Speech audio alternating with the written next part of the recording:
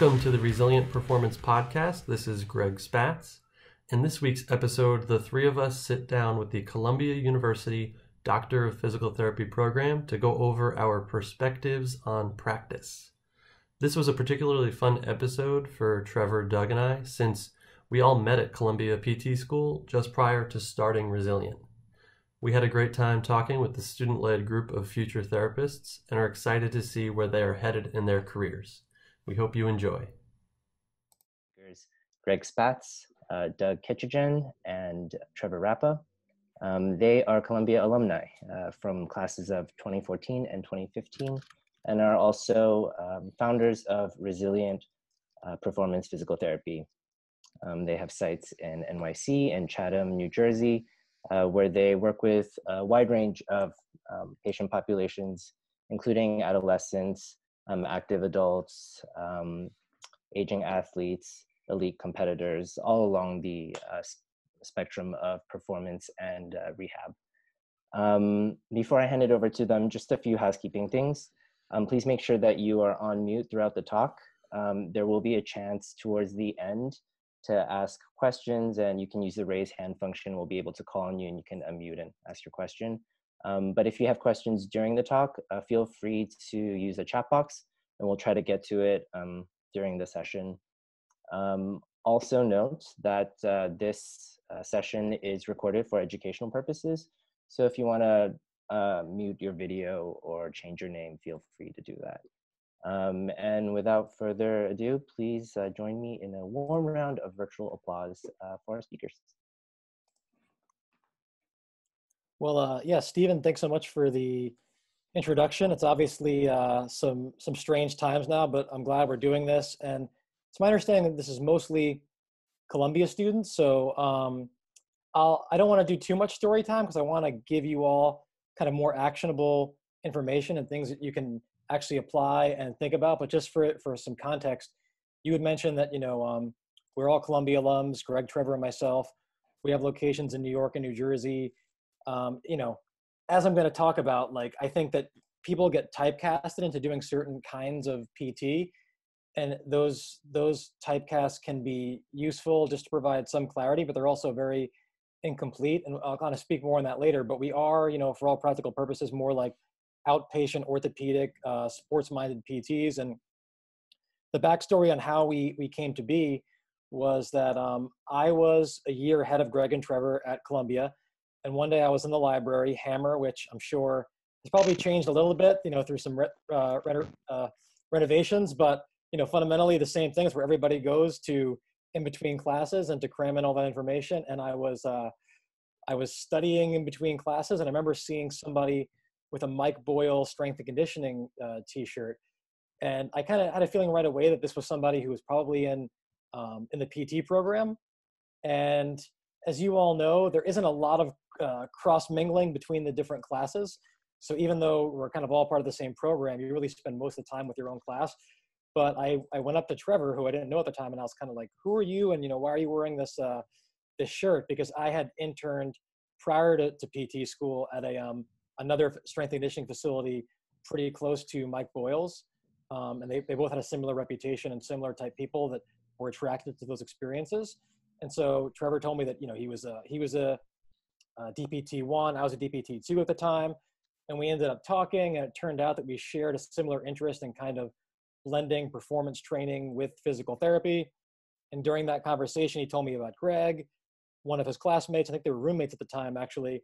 And Greg, um, prior to P- physical therapy school, was um, a strength and conditioning coach for the Arizona Diamondbacks in Major League Baseball. So we cultivated a friendship initially that turned into a business relationship. And Our intent was wasn't necessarily to work together as quickly as we did, um, but we always thought in the back of our minds like it would be great if we could start off doing what most new grads normally do and then find a way to work together. And without getting into too many details we ended up sort of getting forced into working together probably earlier than we were ready to um, and things worked out really well. But you know when it comes to business and i'll talk about this more like you really you can't script things and no matter how many times people try to reverse engineer the process and tell you like this is what i did everything always looks very clear and linear when you're retrospectively kind of narrating it. But that clarity does not exist when you're going through that process. Um, so, you know, it's almost like everything looks causative when you're like, well, we did this and then we did this, but it wasn't causative. There's a lot of luck. There's also some hard work and skill involved, but you know, there's a lot of just like fortuitous things that have to happen in business. And we actually, we got forced into it earlier than we probably, like I said, were ready for. And we stumbled upon success, if you want to call it that, because we really didn't have a choice. We didn't know what we were doing, and we ended up without a facility, and we had to kind of figure things out on the fly. And um, when you're in a kind of survival situation, you kind of just have to adapt. And luckily, we did. And so that was um, almost like five years ago now, which is crazy.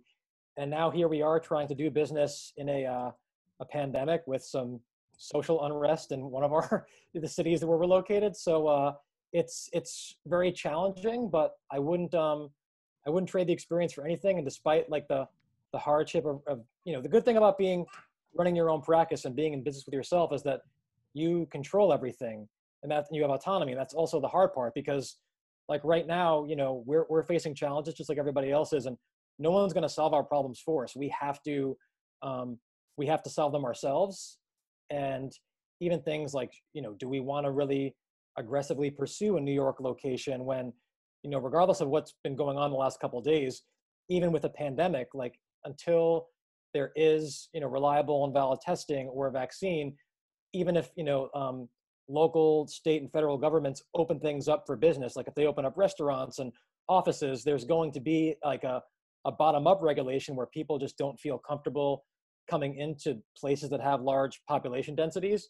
And so it's even right now like we don't have the answers. We're trying to navigate as we go along.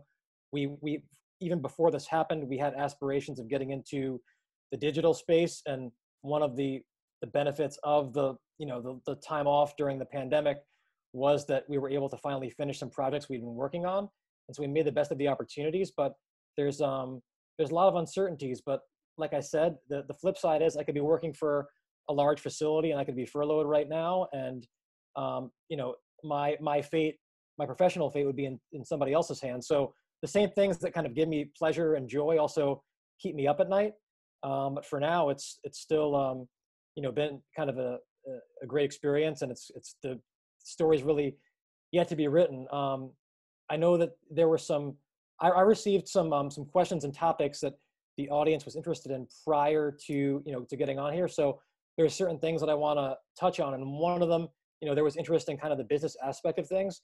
I don't want to make this like a business talk per se because i don't think that especially like when i was in the seat that you all are in i had the context to really understand the specific aspects of the business. But i think i can get into like some of the general things. Um, so one thing is and no matter who you talk to like everyone's going to have a different idea but i think that when it comes to to business in in any field in, including pt and there's also obviously you know some discussion of well do we even want to call healthcare a business? And there's some semantics with that. I kind of look at it like because money's being exchanged no matter who's paying for it whether it's a third party the government out of pocket it, it is a business and we can you know as much as i believe that people should have unlimited access to healthcare and that that, that socioeconomic status and some of those things shouldn't be an obstacle to receiving healthcare at, at, at a certain point somebody is paying for that service so to pretend that like healthcare is not a business, I think is a little bit, um, you know, it's it's kind of naive in a way. And so I think we have to face the reality that it is a business.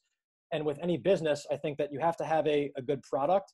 So there's plenty of like courses that are focused on the business side of PC, PT. And we're actually going through a business mentorship ourselves because I think that we'd kind of reached a plateau for where we were and, and it's been helpful. But I think what got us to that plateau point was that we were, you know, in my opinion, good clinicians and so that's why what you're doing right now is very important because if you're not a good clinician you know that like you can you can be a subpar clinician and make money and be successful if you want to call it that but it's much harder um, and you know i think that like for us most of our businesses come from word of mouth referral we've done very little direct marketing if you do a good job with people and they trust you and they think that you're competent and ethical that that like kind of network effect just grows and grows in a way that I don't really understand, uh, frankly, but I know that every time somebody submits their information to our website, we can see how they found out about us.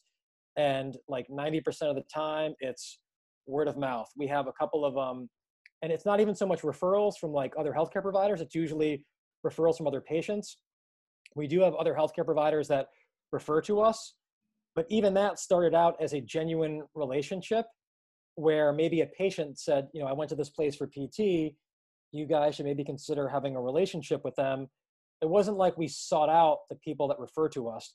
And the other other part of it is too, I think that no matter how much people talk about business and technology and how impersonal it is and metrics, business is still very personal. Um, and like even the refer- people that refer to us, we also refer out to other people all the time.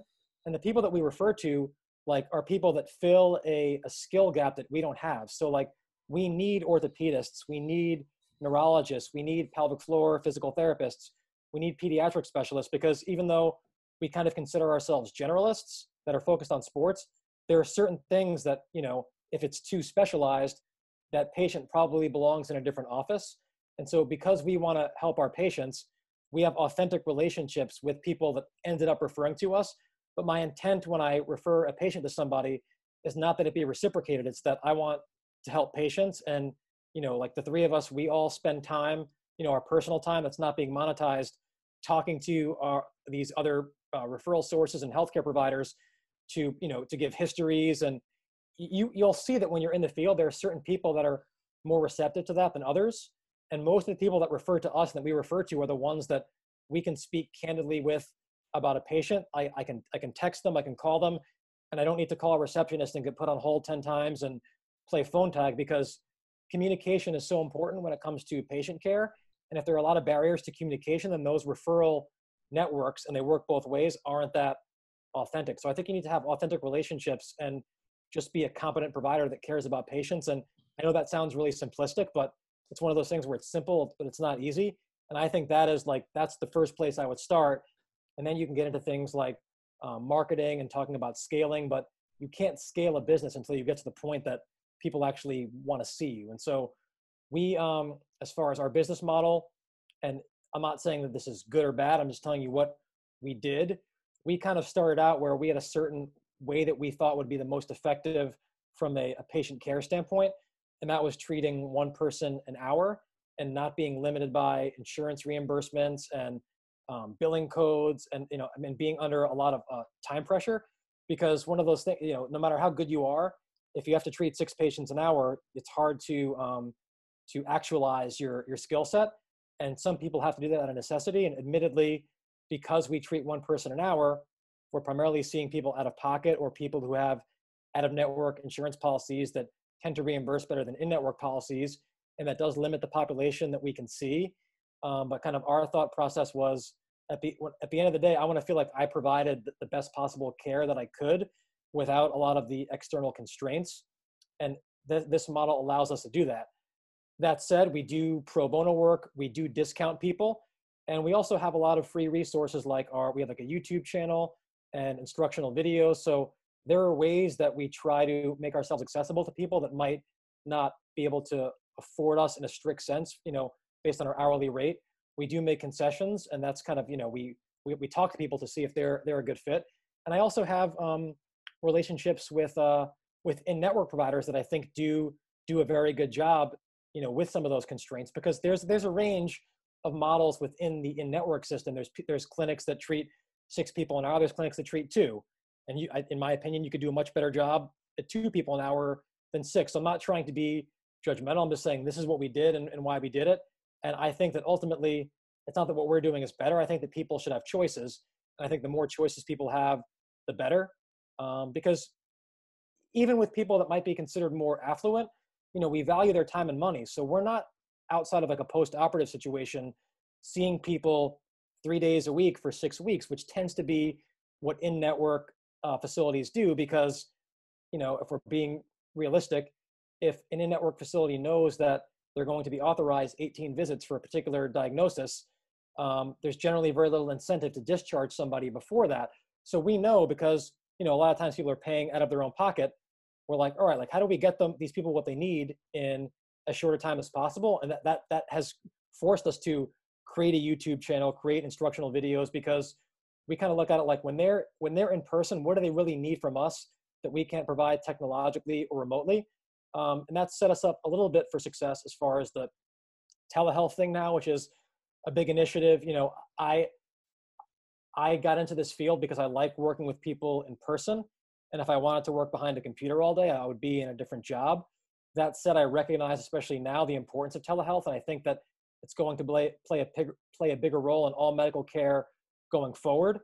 But I don't know if I would be satisfied as, you know, professionally and personally if all I did was treat people over Zoom. That said, I think that, you know, remote uh, consults can be a, a better value. And if you have the technology and the expertise to facilitate that type of communication, then telehealth can work well. And it also makes you accessible to people that might not be able to see you based on geography or pandemic threats. So I think our kind of um, outlook is we want to be able to keep doing in person, but also provide um, provide choices for people that aren't comfortable seeing us in person or, or can't for whatever reason. So that's probably as much as I want to touch on from the business standpoint, unless people have more questions later. The bigger things I want to kind of talk about now are just commonly what people refer to as clinical reasoning um, and just the thought process. I am not the arbiter of clinical reasoning. Again, this is just kind of what we do, and I just believe in being transparent. And ultimately, I think that as students and as like new clinicians, you should just be exposing yourselves to as many different ideas as possible, and you'll you'll see patterns that emerge, and you'll see things that you agree with and disagree with. But like you all should be the arbiter of what you think is useful and not useful. Um, I am not that arbiter, but one of the the questions that keep that kept coming up um, as far as like things that you all want us to discuss was the theme of of integration and like and how we learn. So, and this is one of the just the fundamental dilemmas, and it's a timeless dilemma. I don't think it'll ever be quote unquote resolved in education. Is if we're looking at a, a complex process like patient treatment, right? How do you learn that complex process where the whole is more than the sum of the parts without just teaching in a reductionist way, breaking things down into components and just teaching the parts? I kind of liken it to a sport. If you look at a sport, pick any sport you want, let's say like basketball, right? Like one could make the argument that the best way to become a better basketball player is just to play five on fives and scrimmage and playing games all the time. But the problem with that is, yes, that is the most realistic to what you're going to be doing in a competitive setting, which in this case, the competitive setting is the clinical setting. But if all you ever did was just play five on five in scrimmage, you wouldn't get enough time in the individual aspects of basketball to, to really develop the skills that are needed to that comprise the whole. So, you know, that's why you look at what most sports teams do. Like, yes, they scrimmage, but they also they work on their offense and their defense as a team they work on their like individual skills shooting dribbling um, you know if it's a, if it's a, a post player they work on their their post play and you can't it's hard to develop individual skills if all you're doing is the whole task so part whole learning is a timeless dilemma in education and i think that ultimately you need a little bit of both right if all you're you can't just play the game but if all you did was just practice shooting without a defender that's only going to carry over so much into shooting in a game when somebody's guarding you, right? And so in, in education, you know, the analogy is we learn through through models and through buckets and through compartmentalization. So in PT school, for example, right, like things are broken down into ortho and neuro and peds and cardiopulm, but you know, and the reality is in in actual patient care, everybody has a heart, everybody has a nervous system, everybody has bones and joints.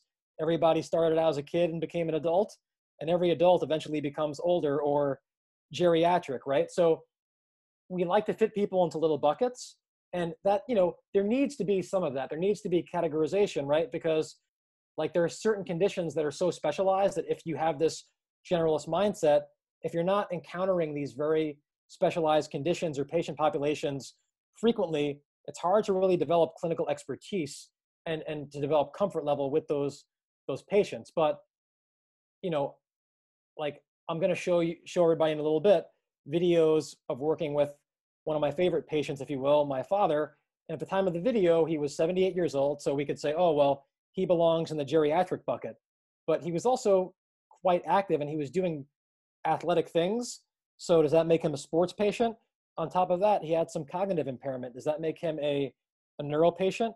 And then he had some, you know, an orthopedic history where he'd had some orthopedic procedures. He had uh, spinal stenosis with some uh, nerve root compression. So does that make him a, a, neur- a, neurological patient?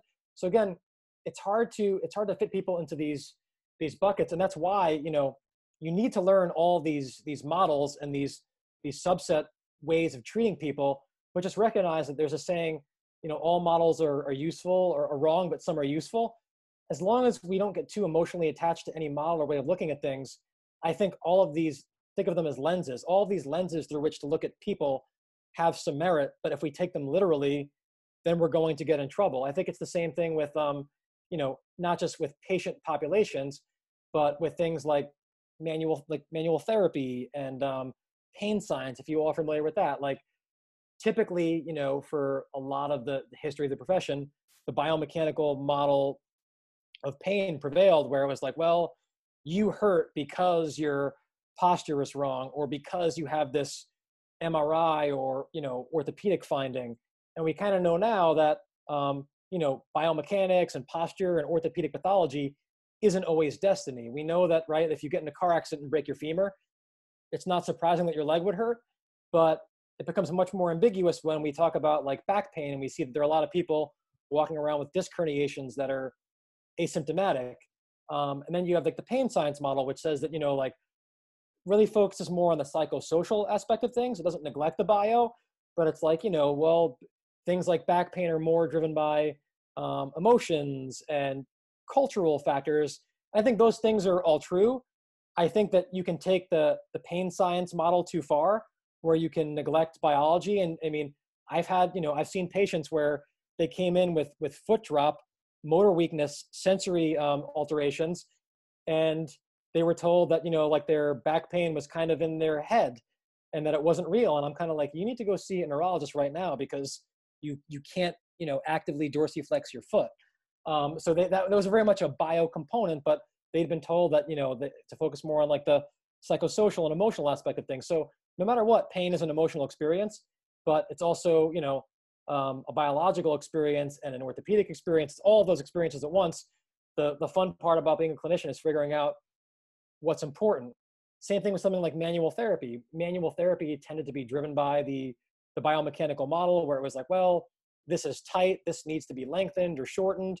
And now we know that manual therapy tends to work more by a, a neurophysiological mechanism, which kind of makes sense, right? Because if, let's say, you have shoulder pain and someone sticks their fingers in your subscapularis and the shoulder feels better, the original explanation for that was, well, we're, you know, we're altering uh, the histological properties of the tissue, we're breaking up scar tissue, we're, we're changing anatomy with our hands. But if you really think about it, right, like it wouldn't be good if you could stick your fingers in someone's armpit for 10 seconds and all of a sudden they have these very acute and rapid histological changes. It should be hard to make a, a, tissue adaptation. It should require a lot of load a lot of force and a lot of duration because i mean if we adapted that quickly then every time we went outside in cold weather we'd grow fur and become bears right and then when we went back inside we'd shed our fur like so the body can only adapt so fast and the most the quickest way to adapt in the body is through the nervous system um, so we know now that, that you know manual therapy works more via that neurophysiological mechanism. That said, some people will say, well, that proves that manual therapy doesn't work, isn't good or useful. If manual therapy achieves whatever it is that your the desired outcome is, if it's pain relief, it's an increased range of motion, it doesn't matter how it worked. Have your own outcome measures to determine what you think success is. Just realize there's different explanations for a lot of these things, and sometimes I think we can overly fixate on the explanations because the truth of the matter is we really don't know how manual therapy exactly works. We probably never will. We can keep refining the explanation, but if we get so caught up in the theoretical explanation, then you know we can we can almost be nihilists where we just pick everything apart and don't believe in anything. So I think that we need enough theory to know that we're being we're being safe. You know, we need to do research to determine that what we're doing um, can be uh, is reproducible and not just something that you know is like a transient phenomenon. Um, but there's just a lot of a lot of gray when it comes to this stuff whether it's compartmentalizing patients into specific categories or buckets whether it's theor- theoretical explanations. So i think that it's it's important. Like I, I, don't necessarily know if um, a superior way to learn would be to discard these categories and just be like, okay, we're going to treat everyone exactly the same and not categorize them. But part of another like kind of timeless debate in education is how much context do people need to learn, right? So if we're talking about patient treatment, what should we do first? Should we go to the classroom and learn the theory first, or should we go into the clinic, maybe watch somebody for six months or a year, and then go into the classroom? And now, when you learn anatomy, then anatomy is going to have context. So, anytime you learn something devoid of the context in which that information is applied, it's much harder to learn, right? Because you know we all we've all studied for tests in school, and part of the reason why it's so hard to learn is because you're learning something for a test. You're not you're lear- you're not learning it because you think that it's meaningful because you don't actually know why it's meaningful. You're being told that it's important, but you don't have the context to really know why. You know, now that I am out of and this is not a criticism of school because again, like school can only do so much for you. Like we all have to learn on our own and kind of pursue our own educational resources and, and avenues. But ever since I've graduated, you know, formal academic programs, any like learning that I did wasn't it was effortless in that I wanted to know something and because there was context because there was kind of an emotional need and there was emotional reinforcement via these interactions with people in the clinic I never like had to study for anything to learn. It I just kind of learned it. Like think about how you learn a language. When we when we learn a second language in middle school or high school we break things down we conjugate verbs we learn alphabets. But when we learned you know i'm assuming most people here english was their first language. If not you know there i'm sure there are some exceptions but whatever your first language was you didn't like learn it in a formal sense. You learned it through through mimicry and just through total immersion right? Like you were around people who spoke that language and you learn to communicate and so i don't i don't it's obviously not safe and you need some regulation when it comes to education you need standards you can't just throw people in a clinic and be like learn but as you will all see if you haven't done it already how we really retain the information that we're taught in the classroom is by being in the clinic and doing these these clinical rotations. So I think in medicine, no matter what anybody says, and this is my opinion, the apprenticeship model of learning still reigns supreme. We can even look at how physicians learn. The way that physicians learn, they go to medical school. Medical school is a rite of passage, much like PT school is, where you learn a bunch of stuff. You often don't know the context of it. You memorize stuff for a test, you forget a lot of it, and you move on to the next thing. And it's, again, it's kind of like, in some ways, a rite of passage and an initiation. Um, but if you look at, if you ask any surgeon, where did you learn the most? They're not going to remember the Krebs cycle from medical school. They're going to remember, well, during the first year of my residency, I wasn't allowed to touch a patient, but I watched, you know, a thousand ACL reconstructions. And then the second year, I didn't do the reconstruction, but I might have done the suturing, you know. And then the third year, now they're doing the reconstruction itself, but they're being supervised. And then after that, they're on their own. So the apprenticeship model still works very, very well. That said, we can't just throw people into that. We need to have some theory, some standardization, some regulation, and some structure. Because um, the apprenticeship model, right, that's very hard to standardize because it's so contingent upon who you're apprenticing under. So these are all just timeless dilemmas, and and, and I think that we're going through this right now socially, right? Um, most really important policy discussions come down to this discussion between rigidity and chaos. And, you know, formal, if we're looking at like learning, just learning in the classroom and learning theory, if you take that to the extreme, that's rigidity because you don't know how it applies in the real world. But if all you do is just try to learn the real world without kind of slowing things down, breaking thing up and breaking things up into components, that's the epitome of chaos. So it's kind of like, you know, I'm using these examples to kind of drive the point home. Something like border security. I use this example a, a sound border border policy is not to create a wall and not let anybody in, and it's not to just have an open border and let anybody in who wants to come in with no vetting process. Neither of those are really desirable solutions, public policy wise. Just like if we're talking about civil liberties, right? Like we all want security, we want to feel safe from people who wish to do us harm. But if we take security to its extreme or its nth degree, now we lose our individual autonomy, our civil rights are compromised, these are timeless dilemmas. You could read about these things in Shakespeare, you can read about them in Dickens, and we're going through it right now. And that's just like no matter how much we have technology and no matter how much things change, they also stay the same. And so that kind of ties into the next theme, right? Which is that like no matter how our no matter how much our patients are different, they're also the same and they're human beings. So if we're talking about like clinical reasoning and what the thought process should be, it can be very overwhelming in school because you learn, okay, this is a neuro patient, it's cardiopulm, and then you get into when you get into orthopedics, it's like, well, this person had an ACL reconstruction, this person had a rotator cuff repair, and you learn protocols for these procedures.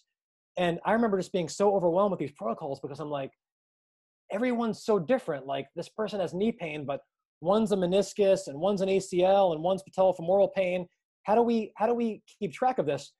And part of that confusion was driven by the our, the way that we diagnose as a field, because in my opinion, and I think this is changing a little bit, the way that we diagnose as a field is antiquated, especially in orthopedics where it's like, okay, you have you have this anatomical diagnosis. In my opinion, if if you're treating somebody for like a labral tear in their shoulder, then and the labral tear is the, the actual pain generator or limiter of function, that patient is in the wrong office because as PTs, we can't do anything to repair somebody's labrum. But what we can do is if someone has a labrum or shoulder pain or an ACL surgery or a meniscus surgery, we can look at pain or we can look at a surgery or a procedure as these things provide constraints. So for, you know, coming off a surgery, the initial constraint might be, hey, we have to respect tissue healing. Don't move the joint passively beyond this range of motion and no active range of motion for four weeks or whatever. That's a constraint. But beyond that, everyone's exactly the same. Everybody that we see, like fundamentally, I think our profession is about how do we maximize function in accordance with somebody's goals, their personal goals, their cultural and personal values, and then what are their you know biological constraints. So if it's somebody who's you know coming off of a, a neurological injury or a stroke, people who are coming off strokes have to function. They have to be able to they or ideally get out of their chair, cross the street. So when someone's coming off a stroke, whatever neurological deficit they have is a constraint to achieving that function. And initially, you try to just maximize whatever function is available you try to restore whatever function was lost by, you know, for example, forcing somebody to use the impaired side. And then there becomes a crossroads where it's like, okay, maybe this person might not recover neurologically. Now we have to teach them a compensatory strategy. So now you have a new, um, a new constraint. But when you start to look at things as people aren't different, everyone's the same, but they have different constraints. It makes this whole thing a lot easier. And that's why, like, it takes reps treating patients to get that that context because it's just it's really hard to get when you're only learning these things uh, in a theoretical environment, right? Um, but so like now I'm working with somebody who dove into a pool, had a, a cervical spine injury, had some neurological insults. Now I wouldn't feel comfortable treating that somebody the day after the you know the the injury because that's not like I don't specialize in you know acute care neuro, but this person's recovered enough neurologically that like now I just treat him kind of like an athlete. He has athletic goals, and we just use his neurological impairments as a constraint. And so, for example, like right now, like he has a hard time gripping, so we have to use a hook to get him to. If I want to have him deadlift, we have to use a hook to get him to load his lower body, so we can, you know, get an adaptation, uh, strength-wise and neurologically in his lower body. But we just look at everything as as a constraint. So I think it'll be easier to kind of um, see how this stuff works in practice if I show some videos. So like I mentioned, I, I, I'm going to use my father as an example. And when he was um, able to, you know, kind of consent to this, he used to like being put on Instagram and he'd always ask like, hey, can you put me on social media so I don't feel bad sharing? I, I had his consent when he was uh, able to offer it. So I'll just show you all, you know, kind of what I did with him and you'll see it's really just using his orthopedic pathology, um, his neurological pathology, his cognitive pathology. These are all just constraints. And it's like, how do we maximize this individual's function without basically causing any harm? And the constraints are important because the constraints allow you to, like, these are the things that if you don't abide by these constraints, you can harm the person. Otherwise, everything else is, is fair game, in my opinion. And again, it comes down to the person's goals um, you know, personally and, and, and, culturally and ethically and that kind of thing. But so here's my dad at 78 years old um, with, you know, and if you labeled him as any of these things, you would say, well, he shouldn't be doing these things, but we did them and it was safe. And in my opinion, especially as people age, the way to maintain dignity, because this is probably another conversation I'd like to have with you all because, like, when I learned about Alzheimer's and dementia and PT school, again, I had no context.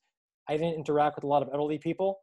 I, I work with mostly with young, healthy athletes, and I was in the military before PT school. So I didn't like aging to me wasn't something that was it was abstract. It wasn't like a, a, a real thing. Um, and I've learned so much through my own like personal experience with my father. Um, but you can typecast these people, and you can you can uh, almost like baby them in a way where you say, well, this person shouldn't be able to do something. Um, but I think that there's so many things about medicine we don't understand. And going through this experience with my father, like we go to neurologists and they're all well intentioned and he's on all these medications, but if we're talking about like evidence based practice, there's very little evidence that these medications do anything. And the reality is like we're probably not going to find a, a medication that totally reverses Alzheimer's or dementia. Like no matter how much we hate to face the reality, and it's uh, I think a cultural thing in this country, like we're all going to die, we're all going to get old, and we're all probably going to suffer a little bit when we're older. And we should obviously do things to mitigate that. But the one like universally accepted thing is exercise for the most part is good for almost anybody. And movement is good for almost anybody. And as soon as you stop moving, like a lot of bad things start to happen. And that, that to me is what makes our profession so special is that like we're the only profession that really focuses on that. And it's like undeniably good for pretty much everybody. Okay. So here's something again, 78 years old, working on just kind of a um, like a lateral movement or a lateral shuffle using the box. So we could call this weight shifting. We could call this changing levels, whatever buzzwords he's kind of showing off there. But um, and I'll show you all like later how we would scale this for someone who's a little bit more athletic. But I felt safe doing this, and we talk a lot about like fall prevention and and things like that. The reality is like people are going to fall no matter what. I fall we want to make the cost of that of the falling less consequential and we have to load people to do that. You can't develop the adaptations to make falling less consequential if all you do is just stand on one leg with your eyes closed and hope you don't fall because real life is not predictable. Like you're going you're you're going to ha- have your balance disturbed when you don't expect it. If you if you don't do dynamic training all the static balance training in the world is not necessarily going to help you. Um, so here's my father sprinting with a sled we used, and some of the, sometimes these, this is pretty slow, okay, the Google Drive, but so we're using the sled, right? Because it provides, provides some balance. We're using a little bit of load. The load actually, in this case, makes it safer because it slows them down. And so this is sprinting or this is power training for somebody with my father's constraints, okay? Um, but we're trying to be as aggressive as possible without hurting somebody. I'm there guarding, but I felt safe with this setup that nothing, you know, that he wasn't a fall risk. Um, here is working on kind of upper body, upper body power, if you want to call it that. Like this would be upper body plyometric for somebody who's a little bit older. So don't don't let your face hit the wall. We're obviously scaling this by having them basically vertical. If we wanted to make this harder, we would do like a regular push-up and we would make it much more explosive. But again, for him, and you could even call this rotator cuff training, right? We're learning how to decelerate the shoulder. Whatever bucket you want to put it in, we're doing a lot of things. A lot of times it becomes semantical. Okay, I wouldn't have a 78 year old jump onto a 50 inch box like you see on the internet, you know, with with younger athletes. But for my father, this was appropriate. Okay, we're learning how to express force quickly and dynamically. I'm not having him jump up and down. He's jumping up, stepping down. This was the limit of what I felt comfortable with from a safety standpoint. But if we don't do these things, then people are going to deteriorate quickly. And you know that elasticity is one of the things that diminishes the most as we age. And if we don't train it, I'm not saying we're going to reverse this stuff, but if we don't train it, it's going to be diminished a lot quicker. And this is like, I think the humane thing that we do is we try to preserve these qualities. Um, here is, we're doing a squat variation, a front loaded squat. With a higher level athlete, I would just do this with a lot more weight. And somebody who had better hip range of motion, less arthritis, would be able to get to a better depth. But you could even call this loaded mobility training. He's using whatever available range of motion is is there in his hips he's loading it. So we're getting strength we're getting mobility we're getting ankle dorsiflexion we're getting knee flexion extension right? And now i'm having him work on some you know lateral movement dynamic balance weight shifting. He's going side to side. So we created this this medley here. Guarding kind of lost his balance there. So keeping it safe. But if we if we underload people whether it's an athlete or an elderly person we're not doing them any favors. We're not setting them up, up for success when it comes to their functional goals. Um, here's, this is pretty, in my opinion, badass for a 78 year old. Just trying to work on some, uh, some hip extension and, and hamstring strength. You, if some of you have heard of like um, the Nordic hamstring exercise, here's a regression of that.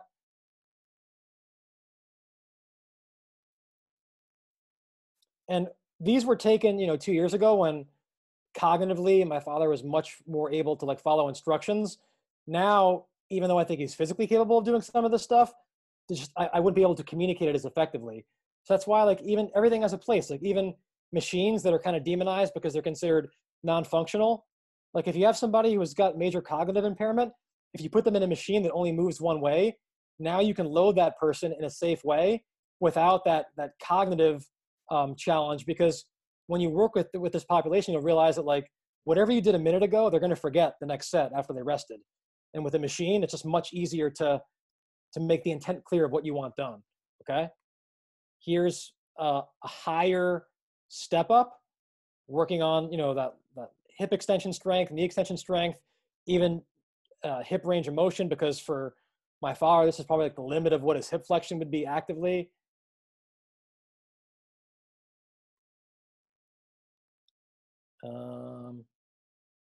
Working on some explosive throws here. Have them in tall kneeling, just for the um, just to kind of train some some postural things.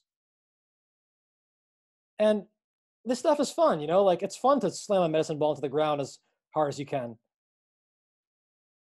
So things like sleds and medicine balls that have a low learning curve that are mainly concentric, don't cause a lot of um, you know, eccentric stress and soreness great for a lot of populations, especially elderly, in my opinion.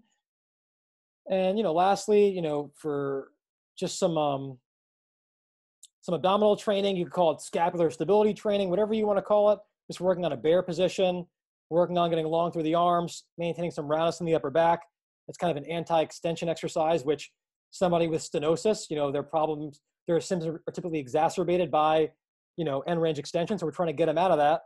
And you know re- reduce some symptoms and also just build some function at the same time. So that's what i would do with my uh with my father. And now i'll show you how we scale that stuff for you know higher level athletes. So here's we just saw the bear. Here's like when i train myself how i do the bear. Now i've got you know opposite arm opposite leg up in the air. I'm working on some hip extension. It's a way to make that much more challenging okay but it's it's the same. It's a continuum of the same thing. Um, we're talking about like you know the the lateral movement, right? Here's just a lateral jump. This is when I was quarantined, jumping over some paper towels because equipment was limited, trying to stick the landing. So working on balance, working on stability, working on force production, you know, at the velocity end of the spectrum, all these things. Every exercise, every category is is scalable progression from the exercise I showed my dad doing. Here's kind of the Nordic hamstring exercise. Now we're working with longer levers, so it's more challenging, more range of motion. Um, taking that step up, okay, and now making it more dynamic. It's like being on a bouncy castle as a kid. These are a lot of fun. We would do this with a higher level athlete. And even this can be scaled by making the box lower. Okay, so I've done stuff like this with my father but on maybe like a three inch box. Um, let's see what we have here. Okay, so taking like a uh, like, like a push up or a push up fall. Now we're doing, you know, we're using rings, which are a little less stable, making like a handstand type push up in a pike position, challenge the, the leverage. So here's an upper body progression of a push up. Some of the dynamic stuff we're going to show is a lot of fun. Um, so here's Trevor he's typically, you know, we, we always take people that are the best at certain things and show them on Instagram. So Trevor's our change of direction and, and agility guy. Okay. So taking some of like the weight shifting and lateral movement that I had my father do, now here's how we would train like a professional athlete in a return to play scenario. We're going accelerating laterally, stopping, deceleration.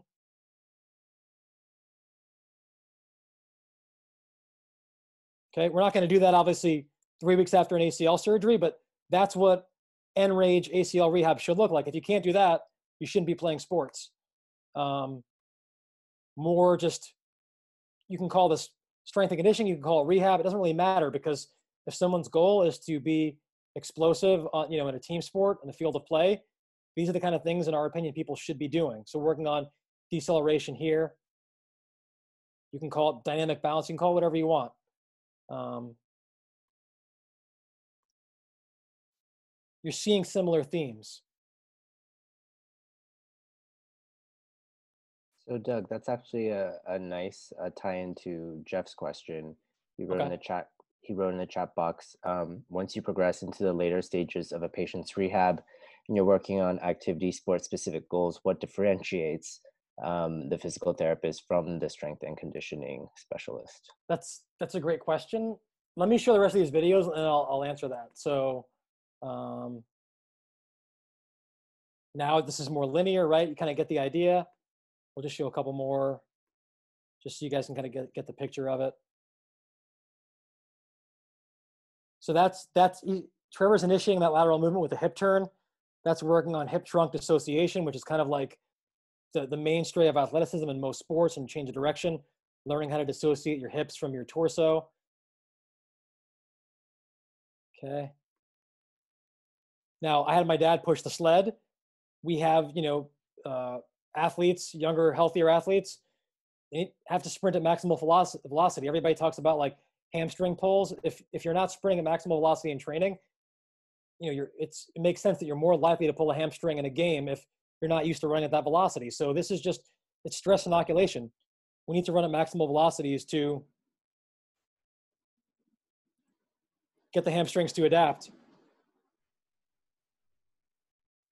And then lastly, you know, an upper body progression of like a, like I had my father doing like a row. I don't know if I show that video, but so here's kind of like, you can call it end stage shoulder rehab. Here's kind of like an advanced pulling type exercise.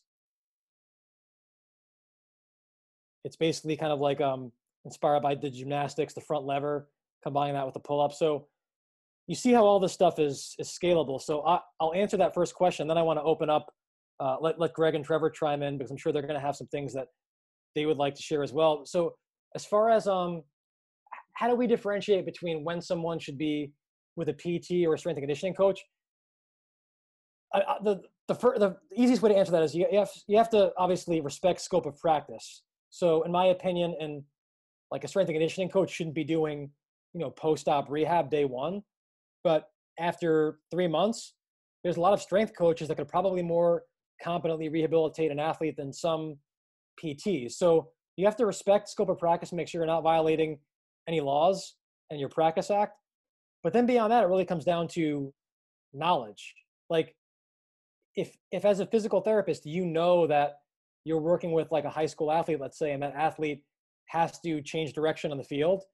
If you don't understand change of direction, to adequately and ethically prepare that athlete for sport, you either need to learn that, learn change of direction stuff, or refer out to somebody who does. Because and there's a lot of you know pressure to get people discharged.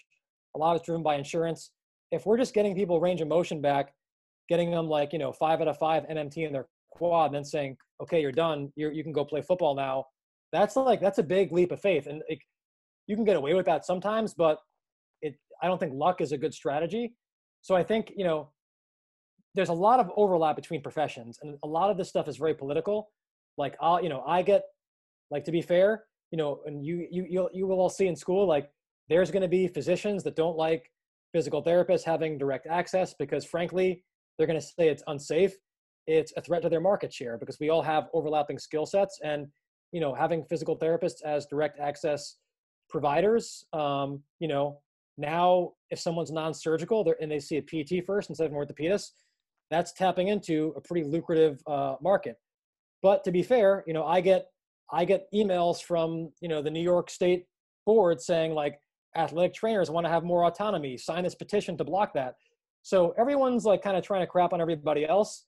Personally, as a consumer of healthcare, I like people to have choice as long as things are safe. I think that a lot of times safety is brought up kind of to fearmonger and to um, suppress conversation and it's really not about the patient it's about we want to protect our market share so we say somebody else is unsafe um, i think that the safety thing is it's a reality, but it's also overblown. So when it comes to these these things, like whoever whoever is competent should be working with the person, um, and then you know respecting scope of practice. So anything that Greg or Trevor, I've talked enough, and then I want to open up to questions. Anything Greg or Trevor that you guys want to add on like any of those themes, or even the, the last question? And I'll shut up now. You kind of hit it on the head. It's really about knowledge and what are you actually like for, for ourselves here at this practice in Jersey, like see a ton of high school, junior high, college, and pro athletes, and you know, like Greg has Greg has more knowledge, is more comfortable with like So it's like I want Greg work them because I know I'm not as good as that as, as Greg is. Whereas I get a lot of the change of direction and field of course where I think that's a little bit more something I'm comfortable with. Sorry. Is anyone, is anyone else? Yeah, Trevor, you're breaking yeah, up he's, big he's time. Up. I think it's your microphone or headphone. Just go computer audio, microphone. And then I didn't really hear much from the beginning. I don't know if anyone else did, but yeah, I would say just restart it. I would say do it over, Trevor.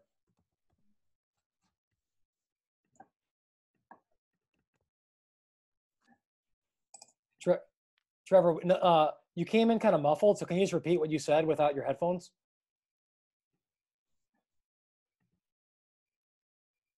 I think he's trying to.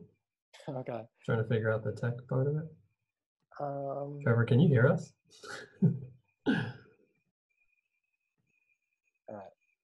anyway, what I believe Trevor was saying, hi, I'm Greg. What I believe Trevor was, was talking about, he was referring to um, just how we, we might have some subspecialties, right, as physical therapists. So I myself played a lot of baseball. I worked in baseball. So there's a lot of context around working with a baseball athlete that I might understand that Trevor doesn't because he didn't play baseball, he played football. So then there's that sort of same thing with him. If I, if I don't have the, the context around a position that a, that a football player might play because I didn't play it or I'm not as educated in, in football as it is, then it's something that he has more context to, to go off of and he can maybe prepare that person better for, for their sport and their, in, uh, in their end stage rehab.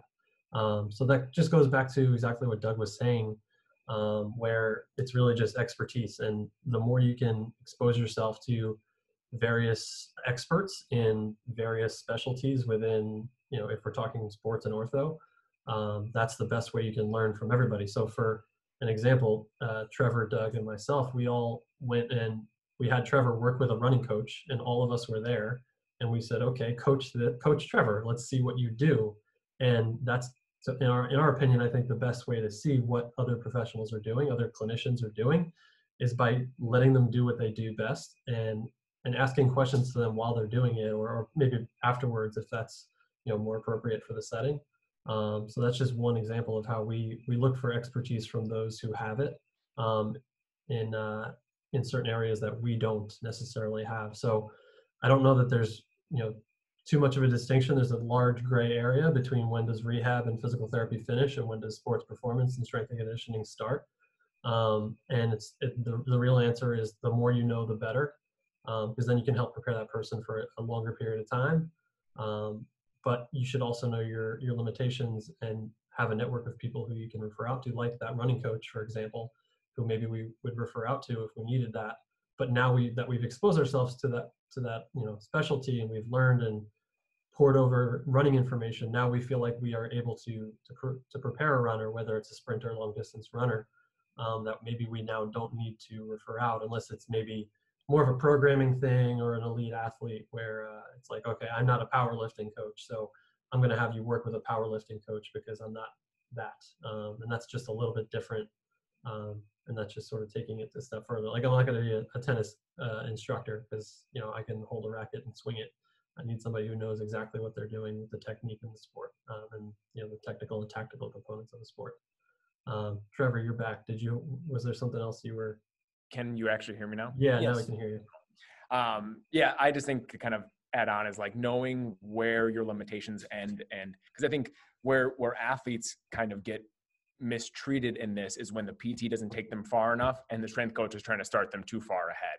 There's this big gray area in the middle that I think people really misjudge about like the time that needs to be spent doing certain activities and certain tasks that will allow them to be more successful once they get back out onto the field. Like with Doug's example, it's like just because you can do a 5 10 5 in a closed environment at 50% speed doesn't mean you're ready to go and be, you know, full limitation in practice. There's so many different forces and different stresses that the athlete needs tons and tons and reps of um, to have like in whether it's with a physical therapist if that's their skill set or whether it's with their strength coach if that's their skill set that they need to do. So it's just athletes need the exact same thing from the start of the rehab to being back on the field. It's just where do you, how far can you take them, and then where can the strength coach kind of start them. So, like Greg said, it, it it's just having the different skill sets, knowing what your limitations are, and then trying to build upon that.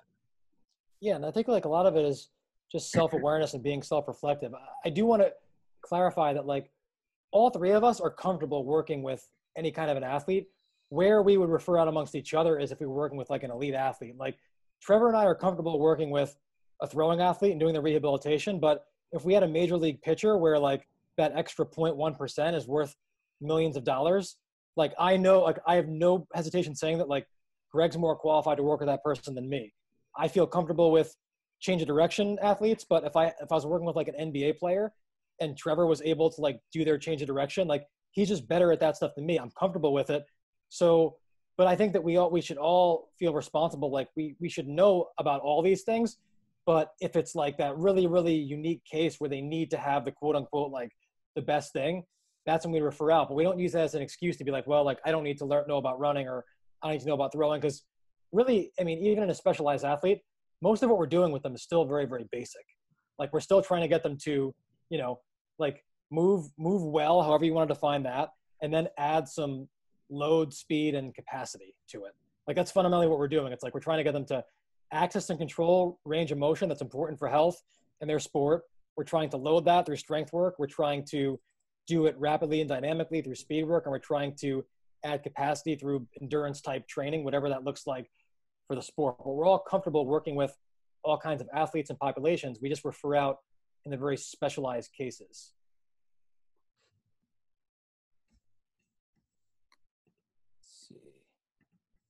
Um, okay, so Iris had the question about the apprenticeship model.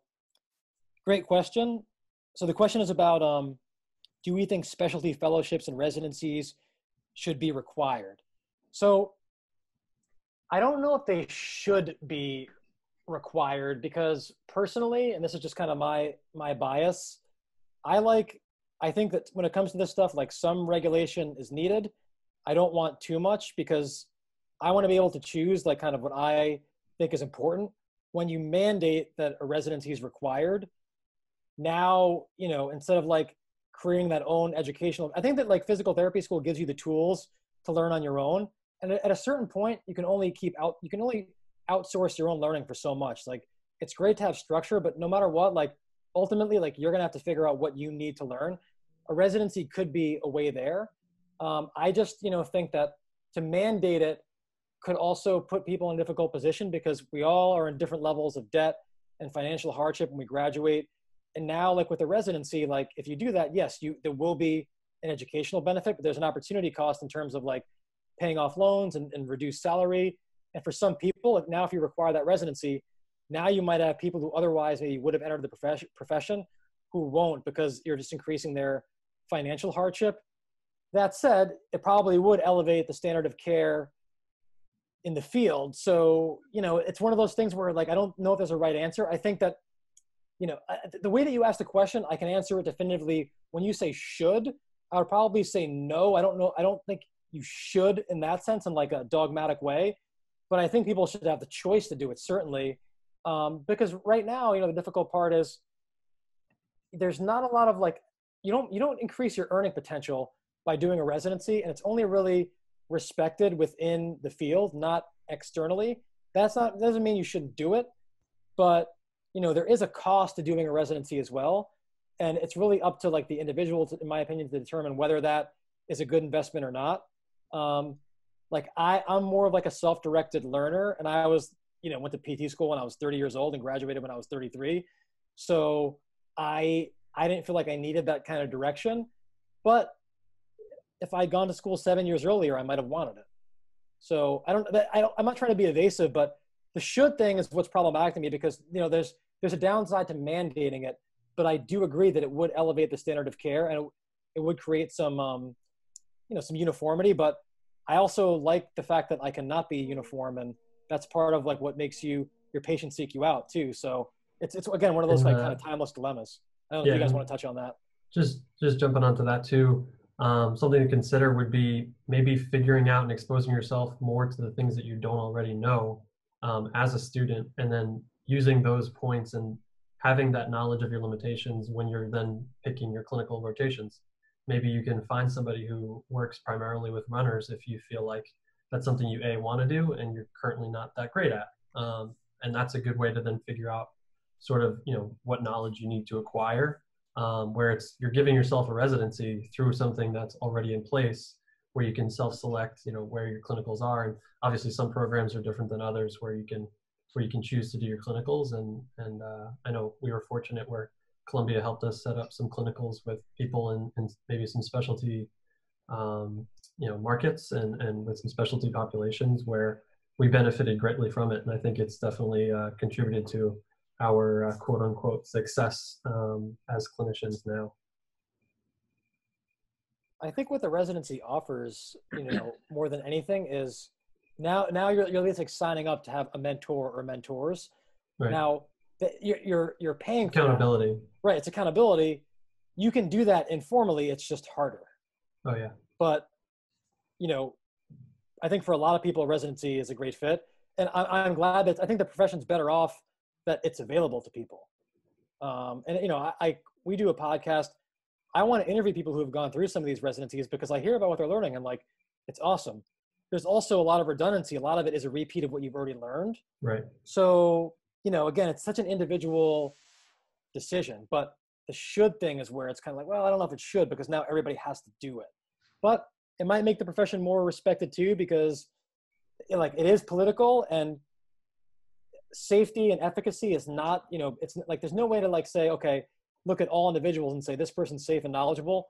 What do medical people do when they get political? They say, well, I have X number of years of education and this profession has Y, right? So now if you say, well, PTs have five years of postgraduate education, now it like gives them some bragging rights, but you're also capitulating to, in my opinion, a flawed way of evaluating um, safety and competence too. If you do that, but you also, it is political, and when things are political, you have to play the game to a point. Um, I will let Greg or Trey- I want, I want you guys to take the next question first, and I'll. It's because it's a really it's a great question, and I'll maybe chime in when you guys are done. From Corey. Okay, yeah. Yeah. Do you come across? Oh, Corey. I know Corey. I know that name. Uh, do you come across situations where your athletes, sports-specific coaches or strength coaches prescribe things you may not agree with? Oh, yes, a lot. Uh, how do you approach this with your athletes? Um, so this, I think, goes way back to something Doug initially touched on was relationships um, over anything else, like whether it's business success, your patient success, uh, communicating with other, you know, sport coaches or other professionals is relationships. And no matter what, like that's going to be the most important thing to either a getting across what you think is best for your patient or understanding better why their other provider or you know coach or whoever decided to tell them you know a certain piece of advice or, or coach them a certain way. Because maybe you are wrong. Maybe, maybe there's something that you, d- you definitely disagree with but um, you know, maybe you don't have the depth of knowledge that this spec- you know the specific sport coach has where when they when you then talk to them they can communicate it to you in a way that you're like oh wow yeah that, that does make a lot of sense. So that's definitely a piece of it um, is definitely exposing yourself to other providers other professionals and, and the coaches in your community the, the patients that you're working with um, i know i work with a lot of like we've already touched on i work with a lot of baseball players so i hear a lot of different schools of thought from different pitching coaches or hitting coaches and there are definitely certain biases I have towards the things that I, I like or don't like. Um, but again, like some somebody might like tell me a, patient might tell me one thing, but the coach is actually saying something that doesn't necessarily line up with what that patient is telling you. So it's almost like you're playing telephone a little bit. So definitely like give the benefit of the doubt if it's something that you you don't completely um, you know buy into, but def- definitely have to understand where that message is coming from for the patient you know there could be a certain reason because i know there's certain things that i do that potentially you know two years ago i might have scoffed at uh, as a clinician and maybe i just didn't understand that there's a certain context that this specific patient that's in front of me right now is going to need that thing that i scoffed at and i don't know until it's in front of me um, so i think that's a, a, huge thing to consider as well communicating to the athlete then um, you know i definitely you try and you be as professional as you can you don't trash anything that someone else is doing because you want this athlete to be on your team. You want to be on their team. Um, if you can, if you shut them down, and for some reason they, you know, their coach is someone who's already in their inner circle and they have an, an extremely deep relationship with, you've already shut yourself out, and there's no longer, you know, potentially no longer a way for you to help this patient when you might be the best provider that they have access to. So that's really important that you don't, uh, you know, say something that you're going to regret because you know whether or not you believe what what they're doing or not um, is the right thing. So Trevor, Doug, yeah, go for it, jump in. Yeah, I think that communication between like the game of telephone that Greg mentioned between like the coach to the athlete to us is often like especially with like high school and junior high kids like they can't remember or they don't you know understand some of the things that we tell them and then so if they it could be the exact same thing where they go back to their coach and maybe the coach and i are on the same page but the telephone that is the athlete is kind of miscommunicating everything. So I think that's often a big thing and, and not being afraid to like ask for the coach's number to be able to talk about it because because we always want to learn from somebody else and, and i would i love learning from sport coaches because they see way more of whatever that is than we do um, when it comes to actually communicating with the athlete i think there's a big you know most of the people that we see don't come to us unless they have some sort of symptom that they're dealing with. So oftentimes the way we coach them and what we're giving them is some sort of modification, possibly because of the symptoms that they're dealing with. So um, like, you know, some of my basketball players where they're, they're, they have hip impingement,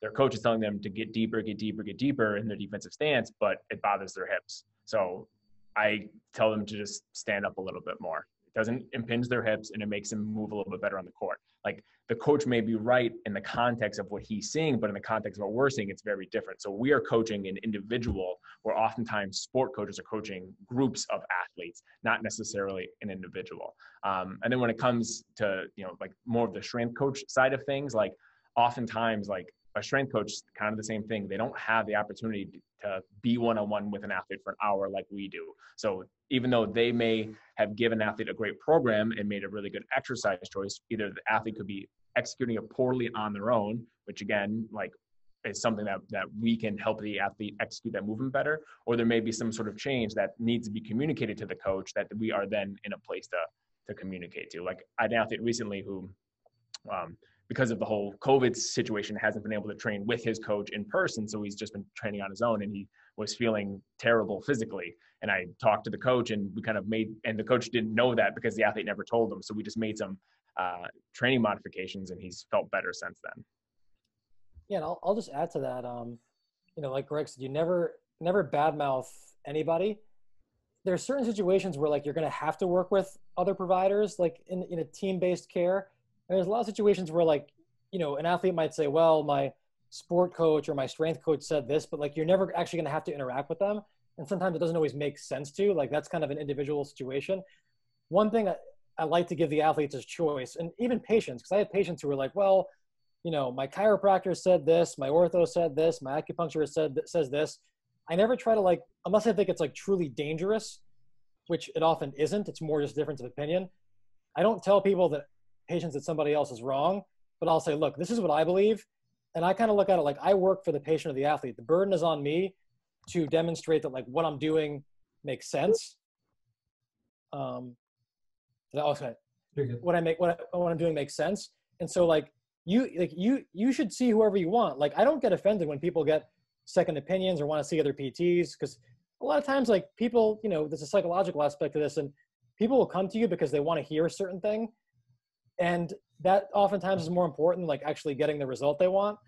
So if like they go to you and you don't tell them what they want to hear they might say can i go to somebody else? Like i'm not offended because i want you to get better. I mean if you go to somebody else and they give you what you want and need then that's great. Like i'm not you know i'm not always going to be the right fit for people. So i like to give people a choice and just say look this is what i think. It's your decision. If you want or need me to talk to somebody else you're working with I'm happy to do it. I leave that up to the athlete, but I never say that what, what somebody's doing is like is wrong or you know or bad or injurious unless like think it's like a real safety issue. And then on top of that, like sometimes, and I've had this happen, you know, as an ethical matter, if I really don't agree with what somebody else is doing, like on the, the athlete's team, and there's no way to change that, then I'll just say, look, I'd rather not work with you. And sometimes you have to make that decision too. I've had situations where, um, you know, like I've had to do that. And at the end of the day, you have to feel like you're delivering value to that person and doing the best job that you can. And if you think you're constrained by like, whether it's like political circumstances or something that another member of that athlete's team is making you do, or something that just won't change, um, sometimes the best thing to do and the most like, in my opinion, thing with the most integrity is just to say like, you know what, like, I'm sorry, I don't think this is a good fit, but I, I wish you success with whoever else you, you want to work with. Um, but it's like individual circumstances, you know, always prevail here, but communication is, is the big thing. And I think just being, being transparent, because um, you don't have to feel comfortable with everything, but if you don't, you shouldn't be like passive aggressive. You should make that very clear. I think, um, let's see the next one. How important do you think it is for clinicians to have a network of trusted professionals? Well, actually, the, the one from Jen first. Um, former athlete, how do you manage relating to an athlete's uh, feelings of well-being and wanting to get back to the sport ASAP without a quick fix? So I think that's really kind of touching on the um, like the psychological aspect of rehab and return to play. That's one of those things where again, it's like fundamentally there's no difference between the physical and the psychological because if you do good rehab, whatever that looks like, as people progress through their rehab, they are going to gain physical confidence, which should translate into psychological confidence. Because, for example, it's hard, it's really hard unless you're delusional to have psychological confidence if you didn't get your quad strength back after an ACL reconstruction. Um, so I think that if the rehab is systematic and it's progressive, you know, people meet certain benchmarks, and now when you put them back in the field, it's like, oh, well, like I've already kind of been doing this stuff. Now there are objective criterias and questionnaires. Like I think even, you know, like as it pertains to ACL, they have those. Those are fine. If you want something like a way to quantify that stuff, you can do it. Um, and I, I think it's good because at least at least you're asking the question like, hey, how am I addressing the mental aspect of rehabilitation? But really, if you're doing the right rehab physically, the psychological part, the psychological aspect is necessarily a part of the physical because you're you're challenging people, and when they gain that confidence, like when they're doing the things that Trevor was doing in those videos versus not, they're more likely to be confident when they go back into the field. So like the the more you can bridge the gap between what their goal is and what the what they do in the field and what you do in the in the rehab setting, I think the more confident they're they're going to be. I think it's a great answer. I think it's just, you know, like throughout the whole return to play process, especially like whether it's, you know, they rolled their ankle and they're going to get back in a couple of weeks, or whether they had an ACL surgery and they're not going to get back for, you know, closer to 12 months. It's really com- communicating with them the entire time and making sure that they feel comfortable and confident with each step of the process and they know why we're doing what we're doing. Because, uh, I mean, athletes, athletes want to know what's going on and they want to know you know like well why why can't I be back right now? And it's like, well, because you can't do these really simple things before we got to do the harder things. And I think just explaining to them and, and, and have helping them un- understand the entire process from start to finish really goes a long way. Yeah. So kind of making it like criteria driven and not time driven. Because if you say like, anytime someone says, oh, like four weeks, like how do you, how do you really know? It's like, you're ready to play when you're ready to play. And so like you can spell out communication wise, here are the benchmarks I want you to, to meet before you go back versus giving an arbitrary timeline. And that like, you know, from a motivational standpoint, it's like, all right, like now I've got to be able to do these things. People can get complacent when you're like, oh, just in four weeks, you'll be better. Well, okay, then I could, you could just do nothing for four weeks. If it's four weeks, it has to be criteria driven and that can be as like objective or kind of more, um, you know, subjective and eye test as you, as you want but there should be some kind of a criteria before you progress somebody to the next phase. Okay. How important do you think it is for clinicians to have a network of trusted fitness professionals, trainers, and how often do you find yourself referring to them? So, um, yeah, I mean, it's important, you know, again, because there's overlap between like what we're doing and what we would call like fitness training. Like, I feel like the three of us could do things that look like fitness training. We've had people that we work with that after they rehab and they're no longer symptomatic, they have stayed on for kind of follow on, you know, training as a different service. Um, it's not something we do a ton of, but when people like really want it, we'll do it. Um, we do have trainers that like we trust to work with our patients. Um, we think are a little bit more like responsible and educated.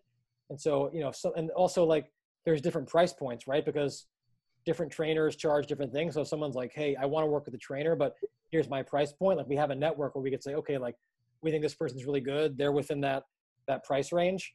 Um, I think that it's really important to address fitness and whatever their follow-on routine is after you discharge them. And it comes down to, do you have the expertise or the des- desire to do it yourself? Or do you want to kind of have somebody else do it? I mean, the reality is like most people, it's a pretty high barrier to be able to afford like consistent fitness or, or personal training. So it's a pretty exclusive population. So you, you, I mean, people who want that and can afford it, yes, I think it's important to have a network, but you should also have solutions for people uh, for whom that's not available, right? So that's why we have YouTube videos. We'll we'll write discharge programs for people. We'll say, okay, like your knees, you know, doesn't hurt anymore, but like for the next four to six weeks, do this, and here's the progression, and then go back to like doing kind of whatever you want. But um, we try not to like let people. We don't like discharge people without some kind of a plan, whether that's handing them off to somebody else or giving them the tools that they need to succeed on their own. Yeah, and sometimes uh, I, I definitely deal with a lot of other trainers, probably more than Doug and Trevor do, um, because the facility that I work out of predominantly, or actually only in Chatham, New Jersey, we're inside of a sports performance facility, and there are six, I think six sports performance coaches there. I see a lot of the baseball athletes that are in the facility. They come to me for whatever they need. It might be post-op, it might be just, you know, my shoulder hurts, whatever it is. And then I know their coach. I already know their strength coach, so they're in my network. Oftentimes, I'll also get patients who've never been to the facility before who come again after it's post-op or you know some sort of you know pain that they have. And then I have the trainers in the facility at my disposal to recommend when the time is right, where you know it's you know uh, based on insurance, based on my ability to give them what they need, the price points. There's a lot of different factors, but um, it's definitely helpful to know that I have trainers that are in the same exact building as me, which I'm, it's a it's a huge luxury for me. I know that's not you know very common and it's not regular um, for a physical therapist to have that, but it's definitely important to know. Okay, when I'm done with this pa- patient, and I think about it ahead of time too. Like I'm thinking about it, you know, weeks in advance before I'm quote unquote done with this patient that they'd be a good fit for this trainer or that trainer. Um, so it's definitely something that's important to have. Um, and then uh, we're also getting we get referrals from these trainers too. They like what we do because we like to we like to get them back to their training. We don't want to keep them like Doug was describing, you know, three times a week for six weeks because right there that takes up all their training time, and now they're not working with their personal trainer or their their sports performance coach. So in the cases where they can continue to do that stuff and we can just be a resource for them and see them infrequently, it's it's huge where we can help a trainer keep their client and then they're going to keep referring back to us because they like what we do and we we continue to provide value. I'd say just as an addition to that, like a lot, especially in in, uh, in in New York City, a lot of the referrals we get are from people we know just in the fitness space in general and they like greg just kind of alluded to it's like they send us their clients because we help them keep training because we they don't come to us and we're saying like no x out all training. We do a pretty good job of coming up with modifications that we know will be safe for the client to be able to do with their coach or, or with their trainer um, to allow them to keep chasing their goals. Because our goal like doug said us during some of those videos it's like movement is good for everybody. So we try to give keep, keep people moving as much as they can as safely as they can with as little pain as they can yeah, and I mean, I don't know how much of like the chronic pain stuff you've all learned, but like one of the easiest ways to create a chronic pain patient is to tell them all the things they can't do.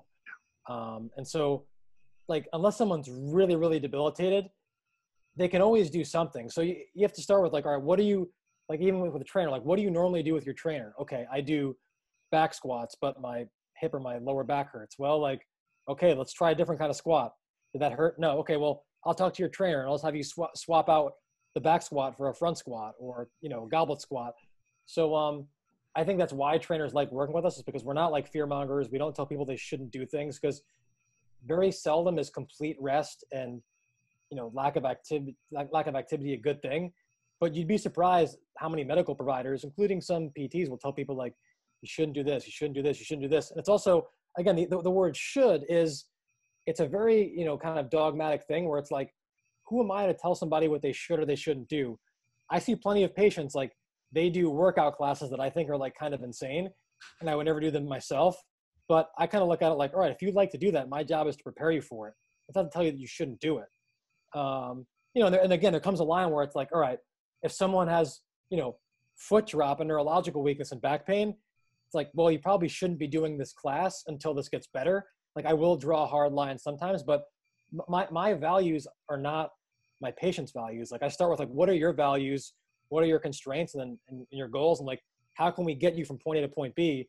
I'm not trying to project what I think is fun or useful onto somebody else, unless I think there's a real safety issue. But I think that, again, the safety flag is raised a little bit too quickly and too hastily um, in a lot of a lot of cases. When if you're creative, you can work around some of those things.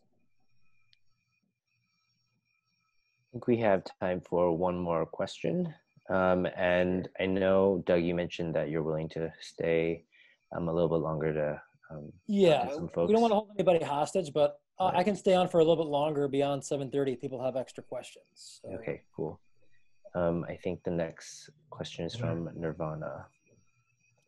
Uh, I think, well, Trevor, why don't you take that one? I think you have the best story when it comes to kind of just like being all in on the on the business. So the question can you talk a little more, bit more about the business part of starting your own practice? Did you work at other clinics to try to gain ex- experience first before starting your own clinic?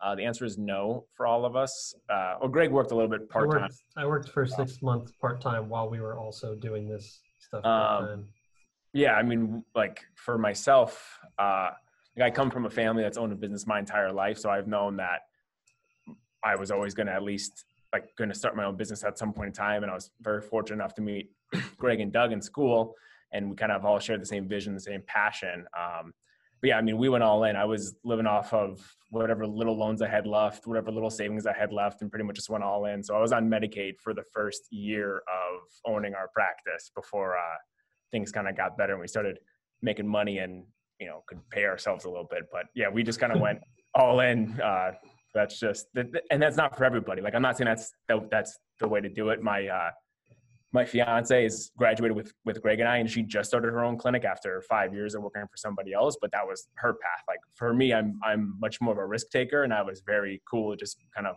betting on ourselves.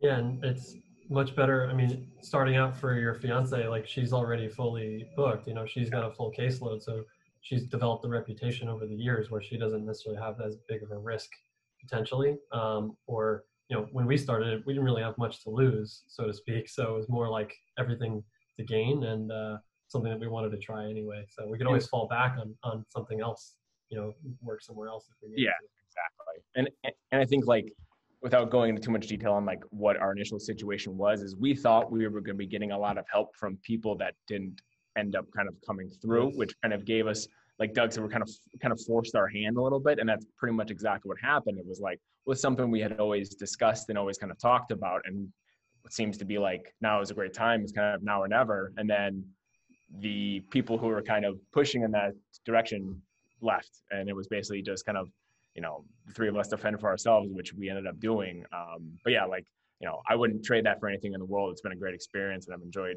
all of it. It's been awesome. But uh, yeah, I mean, it's not for everybody to own their own practice. Like, it's not for everybody to start it right away. Like, that's just kind of the path we went. Like, so many things happened organically for us to be able to get to where we are. That, like, if we were to write a book about what happened over the last five years, like, it would not have been what I would have pictured predicting what happened at that point in time. Yeah, and I mean, like, thing, I, I had Trevor talk first because he did. I, I don't know if I would have done what he did in his position. Like, Greg was working somewhere else, so he had a safety net. I had a safety net because I had I was still in the like in the reserves with the military. So if I wasn't busy seeing patients, I could go make money and do that. I didn't have any debt because I had the GI Bill to pay for PT school. So like I, I had a bunch of money saved. Like, but and, but Trevor had a bunch of debt, and I was kind of like, look, you know, when when like I said, we were forced to work together. I didn't even have enough patience for myself, and because they kind of got like screwed into the situation, I'm like, well, you know, I've got to like I've got to try to make this work for everybody. I was like, I can't, I can't even guarantee myself employment. You know, I can't guarantee you anything. And he's like, I don't care. Like, I'm all in, and I'm like, all right, like, but I wouldn't necessarily recommend that to everybody, and neither would he. I'm just saying that that's this is what we all did, and I like when I look back, I realize like how clueless we actually are. We we actually were, and it's like kind of scary. But experience was was the best teacher. But you know, Yeah. you can make a case that the time to do it might be when you just graduate, when you're already in debt anyway, and you don't have a lot invested in something else. Like the, again, it's just Yeah, such an individual decision. It's really hard. yeah, it's Yeah. just Every situation it- is so unique. yeah, it's if you feel comfortable and confident with a full caseload, then it, there's you know there's no wrong reason to do it. Yeah. But the bigger thing is like if if you're going to start your own business, regardless of how secure you feel financially, you should feel secure treating people on your own without a ton of mentorship. Yes. I think we had we had really good mentors. I mean, I kind of like cringed at some of the things that I did when I first started out, but I think that we were more ready than some other new grads because of the mentors that we had. But admittedly, still like the learning curve in the first two years of treating independently is just beyond anything else you'll experience. Um, yeah, whether you have that mentorship or not, just being in the clinic regularly and seeing patients every single day is going to make you a way a better clinician very quickly. but it's hard to do that and learn business at the same time. It can be done, but it's very hard. Um, do you want us to take James's question? 'Cause It seems like it's the last one. Yeah. Um, I would say sure. Uh, Okay. I, yeah, let's do it. Okay, I'll take James's and then we'll do the the extra credit after that. 'cause I just saw another one come in. That's good.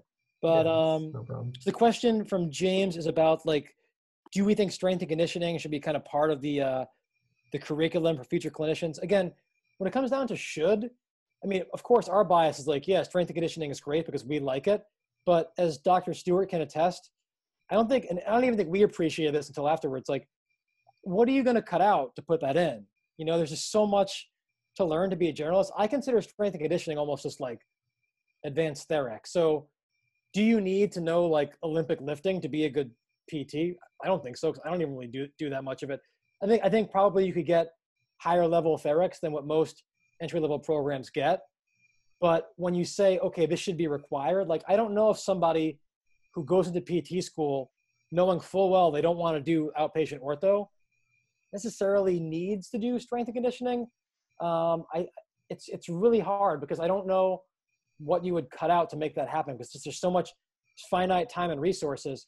Um, I think that like the, the exercise um, progressions can be a little bit probably more aggressive Mhm. and it could be maybe like an elective, but beyond that, I don't know how much more emphasis I would put on it because like, are you going to cut anatomy? You're going to cut kinese, you're going to cut basic neuro, you know, you're going to cut basic cardio pulm. Like even for an outpatient ortho, it's easy to say like, oh, well, like I'm never going to do neuro but you think that until you're working with the spinal cord patient like i'm working it's not that like the class itself made me better at it but you need to have some foundational appreciation of it um, and, and, and to just to see like the more models you see the more you realize like okay like everyone's kind of saying the same thing using different words um, but ultimately again it comes down to like if you really want to learn it you've got to get it on your own but i think that there is room for it to be an, an elective and I, you know in an ideal world yes there would be some more like emphasis on fitness beyond just acute pain management.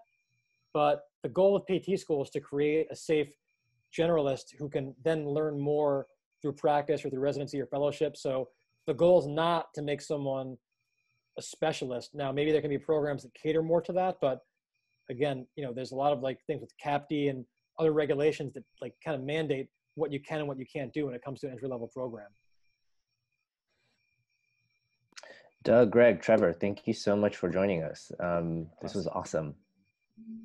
Um, if any of you folks have more questions, um, Doug said he'd be willing to hang back and uh, talk through those. Um, I just want to, before I close, I just want to plug our next event. Um, it's on June 17th from 6 to 7.30. It's um, our Disability Awareness, Vision Impairments, Blindness, and Movement Strategies talk. Um, and it would be presented by Carol Mood, from a nonprofit organization Lighthouse Guild, um, and also a conversation with um, motivational speaker Susan Robinson. So um, uh, looking forward to seeing you all at that. And uh, thank you again, you guys. Thanks, Thank everybody. Thank you, Stephen. Thanks, everybody.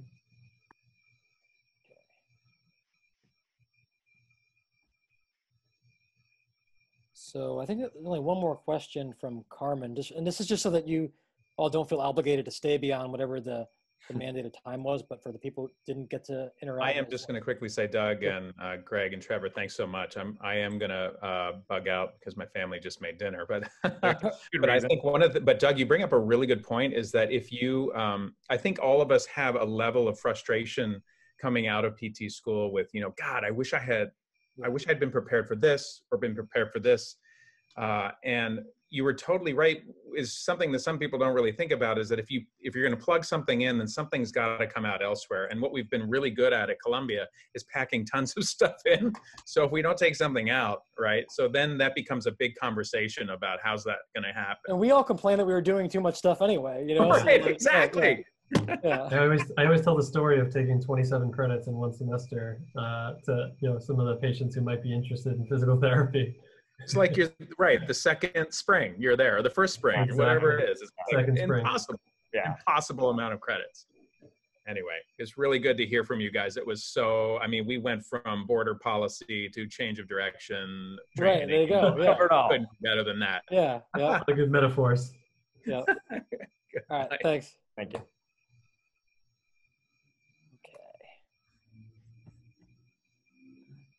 So the question from Carmen, post-COVID.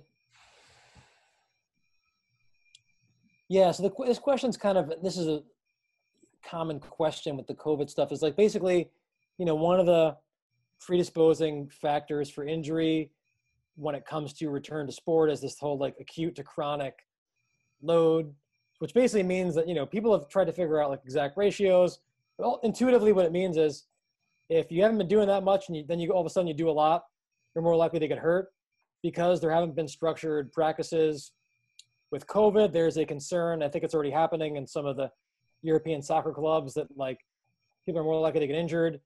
So, look, there's only so much control that people have. If you're working with an athlete who's not with their team now, then just try to train them as aggressively as possible with the constraints and equipment limitations that you have so that when they go back to practice, um, they're more prepared. Beyond that, a lot of it really is not in our control as like rehab providers because if they go to practice the first day and the coach is like, I want to see who's been grinding over the, you know, over the quarantine, like, yeah, people are probably going to get hurt. I mean, that, so that's probably where the communication piece comes in. It's like if you have a relationship with the sport coach, you could say, look, you're probably better off the first week doing, you should feel like you did too little, not too much um, because people are most likely to get hurt during that initial spike in their workloads. So do the best that you can to maintain a high workload if you have control over some of their off-season training. And then beyond that, you're either just going to hope for the best, or if you have a relationship with the coach, try to talk to the coach about like education about, hey, I know you feel like you have to make up for lost time, but um, if you get everybody hurt, then that's you're making up for more lost time. So better Yeah. off being conservative when it comes to that than doing too much. Yeah, and something I've been asking my athletes who are obviously not in season right now is what they're going to have to do when they get back to practice. Like, what does your day one look like? Because they might know. They might know that they have a conditioning test that they have to do on a certain date.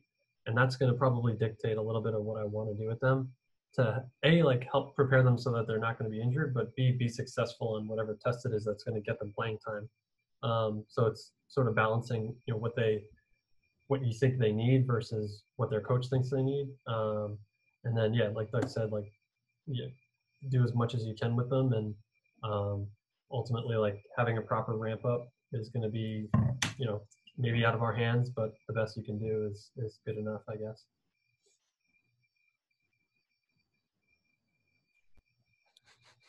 Yeah, I think you guys covered it all. I think those are good answers. It's just there's controlling what you can. I think from a X's and O standpoint of like in terms of the, the preparation, it's like people don't have access to gyms, but you still have the outdoors. You can still you know do plyometrics outside to build tissue capacity. You can still do sprints and accelerations to make sure that you can handle the velocities that you need to be at once you get back to practice, and then just kind of keep building up the the um, uh, work capacity of that to hopefully not get injured when you go back, depending on whatever the coach has you do. And like Doug said, I think the communication and, and knowing what to expect from a coach's standpoint when they get back is huge because if they're going to get back and they're just going to do, you know, repeat hundreds until, you know, the sun goes down, then people are probably going to, get hurt. But if they go in knowing what's going to happen, it's going to be kind of more of a um, appropriate dosage that first time getting back into camp, then I think things could go a lot better. And something else too is like a lot of athletes are just doing like body weight exercises at home these days, and like that's really it because they don't really know what else to, they're supposed to be doing. And like probably the number one thing you should be doing is like sprinting and like some sort of fast, like just change of direction, like just running back and forth like pretty quickly. Like it's just to boil it down and make it super simple.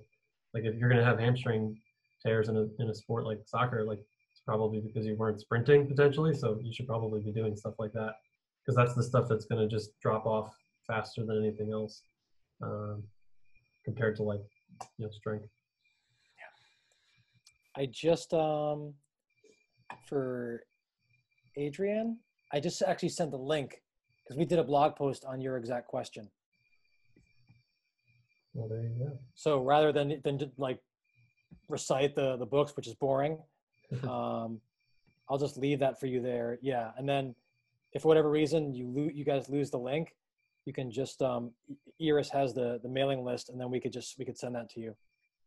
and we've all done like some level of shadowing and observing other professionals so if there's ways you can do that and whether it's locally or if you have to travel to get somebody we've all done that where we just spent our time watching people do what they do so that's that was also very helpful as well Yeah, there's definitely some good resources, you know, relatively inexpensive books and blog posts and stuff like that. So I, I kind of put together an article of like almost like a cheap informal fellowship for people who don't want to do a real one of like things that I think are kind of, you know, important reading for a sports centric PT, if you want to call it that.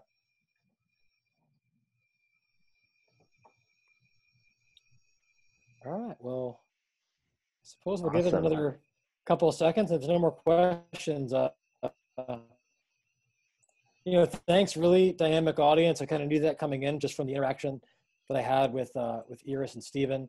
Um, but you know, we've all we've been in your shoes, and it, it gets better. You know, and you, guys have it harder than we Yeah. did with everything going on. But um, wish you wish you all the best, and just excited for what the future holds for all you. Get you're going through a great program. You've got smart classmates, professors who are knowledgeable and care, um, and you're, you're all going to do pretty well. As much as you might not think so right now.